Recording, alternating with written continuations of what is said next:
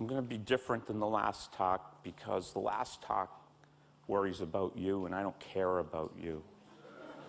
Okay, so we're going to start that way. Um, so look what I'm going to do with the F-15. There's the grid. I'm going to bomb it. I'm going to destroy it. I'm going to destroy everything, except for that little person right there who's going to hold their own energy. So you, actually, I'm, I'm not at odds at all about what you heard, and I'm going to show you that in a minute. But you can't get safer if you have your you control your own energy, and you can't get cleaner, and you can't. Everything goes to the individual, and so I want to talk to you about personalized energy. And I just want to throw some quick numbers up here, not a lot, but I do a lot of global energy calculations, and a lot of people use my numbers and then they mess it up. So I'm going to tell you what, what I did because you got to understand what the challenge is, and then you're going to see how I'm in line with Masood, what he just talked about. And that is right now you're using 14 terawatts. The terawatt's a trillion watts, and that's a big light bulb, all right? And that's what you're burning at this second. So it's burn rate, energy per unit time. You don't need to worry about as NOSARA talking about a day or a year. So that's how much energy you're burning. And you're going to need 16 in the next 42 years. So close your eyes and think about 42 years from now. I'll be dead, but you know there's a lot of kids around. So just close your eyes, think about a kid right now that you like, and this is going to be their future. Okay? And it's going to be a bad future if, it's, if you look at these numbers because that number right there, the five to seven terawatts, is the entire, entire crop basis of the world. And I collected it and burned it to CO2 and water. You can't get any more energy out of crops, fastest growing crops in the world, right? That's because photosynthesis has a limit of 10%. The best crops grow at 1%. You can't do better. Um, I took all the wind. It's only 10 meters above the ground. You should go higher. If you take the entire lower atmosphere, there's 60 terawatts, but you got to take out the entire atmosphere. That's the Stanford study. But if you're at 10 meters, that's all the wind energy. Here's nuclear. If I want eight, because I got to get to 16, so we'll go eight plus seven plus some wind, and I'll barely get there. Um, eight terawatts, we can do this calculation in real time. Um, 8 terawatts, a power plant puts out a gigawatt. 8 terawatts divided by a gigawatt's 8,000. 40 years from now, 8,000 divided by 40 is 200. You've got to build me 200 power plants every year to get 8 terawatts. If you did it linearly, that's one every one and a half days. And then when you're done, you got to decommission the one you're building now because they're only rated for 50 years, and then you got to keep keep building. So you're building forever to get half of your energy that I'll need in the future. 200 a year forever to get me 8 terawatts with nuclear. Um, now, where do I get in line with Masoud? Because right here, this is 14 terawatts. I'm saying you're going to need 16, and then you got to figure out why do you need 16. The first assumption I made is that you guys would do all the right thing and listen to him and save 100% of the energy you're using today. 100%. And then I still need 16. If you want to be dummies and not listen to him, you got to give me 45 terawatts, not 30. All right?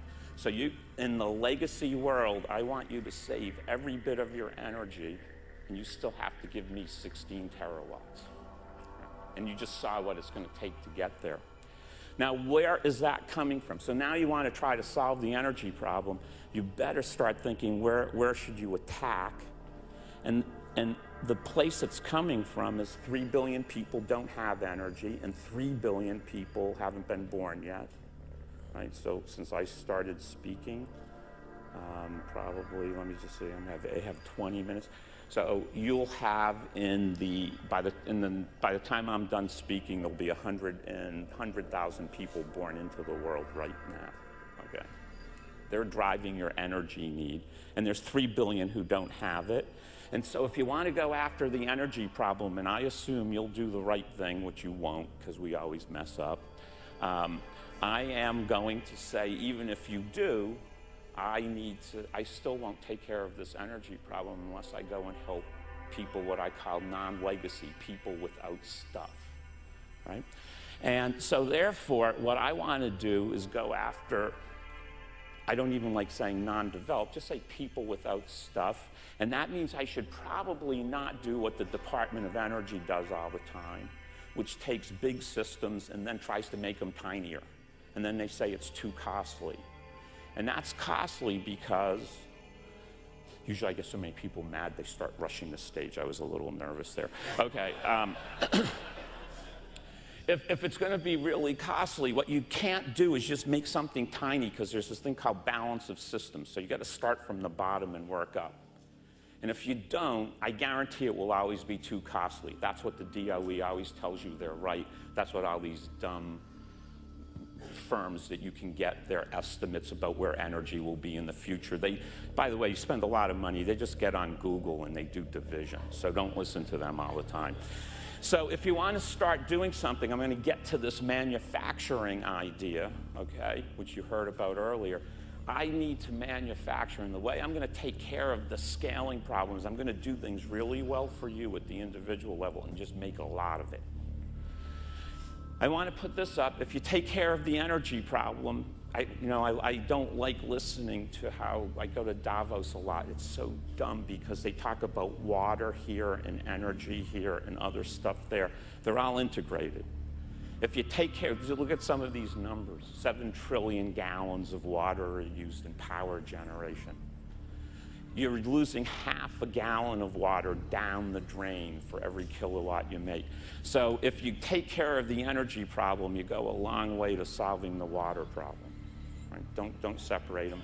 Um, by the way, everybody always wants, they assume research scientists, academician, how do you solve the energy problem? Give Dan Nocera lots of money. That's what they're always expecting, right? How would you do it, though, now that you understand this? If you want to make the biggest impact, what would you do? Stop 3 billion people from being born. You know how do you do that? You social engineer. This is very drastic because I'm on web pages. They all blog me to death about being an awful and evil human. I would want to educate poor females. Wow. Okay? You educate poor females, birth rates drop like a rock. So if you want to make a big impact on energy and you don't know what to do, start educating poor females. Again, oh boy, thanks. I guess I didn't have to tell you guys. But I don't, don't clap too loud because I said you guys always mess it up, so you won't. So you're going to have to need me after all. Okay. Just when it sounds good. Okay, it's all down the tubes again. So you heard about solar. Um, even if you get the cheapest solar panels in the world, you're still doomed because you guys don't like living when the sun goes down. Or you do like living when the sun goes down. So you need energy, so you need storage. Let me do something with elect. We heard about electrons. The problem with electrons is they have a negative charge, and this is a negative charge, and they don't like getting near each other. So here's the energy that you get because I got to store the sun now. So I'm going to get the sun at the individual level, give it to you, and you got to store it at night. It's going to be cheap because it's for the non legacy world. Don't let anybody tell you batteries are going to get better. They can't, physically impossible. Okay? And let me tell you why. I'm a chemist, so listen to me now. Um, electron comes on metal, electron comes on metal, electron comes on metal with oxygen in between unless I have a special way to compress matter and not make it more dense, battery energy storage can never go up, ever. All right, so don't let people tell you that. What they are telling you that's important is what's called power density. If you want it in your car, you're going to have to go from zero to 60 in four seconds. Then you need to get the energy in and out quickly. But you're still going to have to get Nat Tesla with its thousands of pounds of batteries and that's what you're going to have to drive. If you're going to go with Shai Agassi in Israel, you better be ready every 20 kilometers to replug in or dump your battery pack, okay? And he's not going to make it better, sorry. Can't, can't help physical laws of nature. All right? So they're, they're lousy, lousy, lousy, lousy. Why do we use fuels? You already figured it out. You've been doing it for 100 years. You use fuels because they have lots of energy. All right?